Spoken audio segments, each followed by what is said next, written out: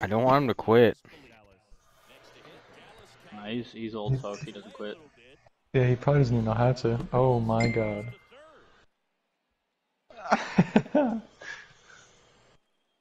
You're only up by two, bro. You gotta come down. Stupid bitch! Ah!